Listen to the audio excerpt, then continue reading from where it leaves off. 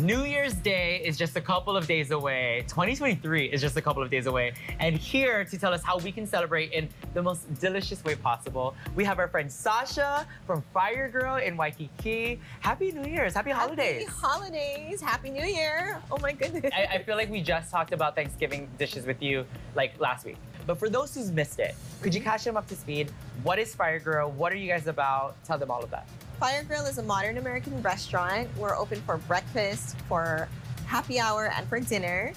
We also started off putting um, more uh, small tapas style dishes. Okay. But we are known for our prime rib steak. Yeah.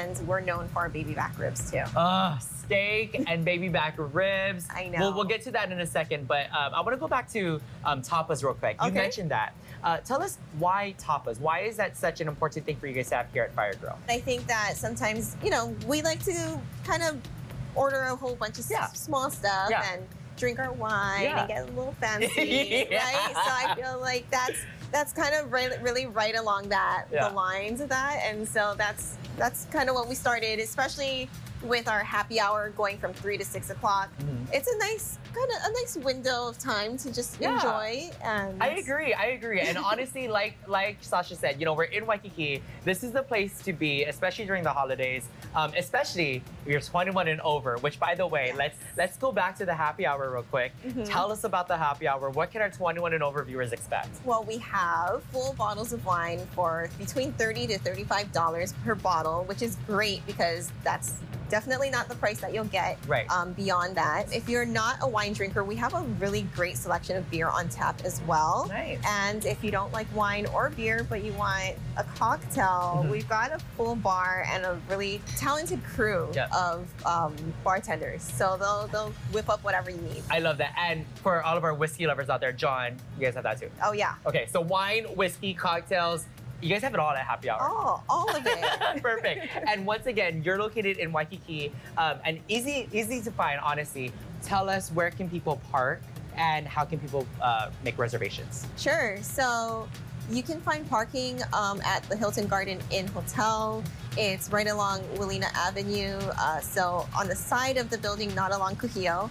And you just park, walk over, and let them know that you're going to Fire Grill. And if you show us your uh, validated state ID, we'll have that ready for you.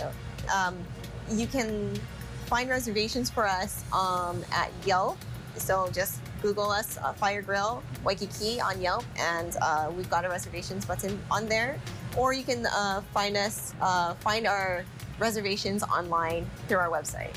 So stay with Living 808, you guys, because in a couple minutes, Sasha and I are going to be back on your screens with some food on this table. And I think I might bother the chef to go inside the kitchen if that's okay. You have to. Okay, I gotta get a first look at that prime rib and the baby back ribs. Oh, up close and personal for sure. Okay, stay with us.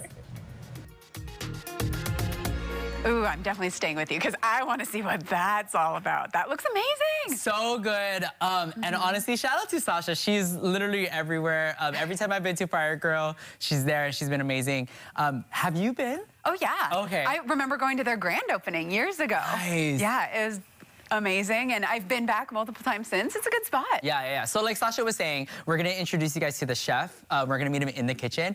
Now he's traveled the world, and that's where he gets a lot of his inspirations from. You know, the different places that he travels to. But he brings it back home to Hawaii because, you know, not all of us can travel the world like me, but you can do it at Fire Grill with all of their their exciting menus that you guys can look forward to next. Yeah, for sure. Okay, well, we'll hear more about that coming up in just a little bit. But coming up next,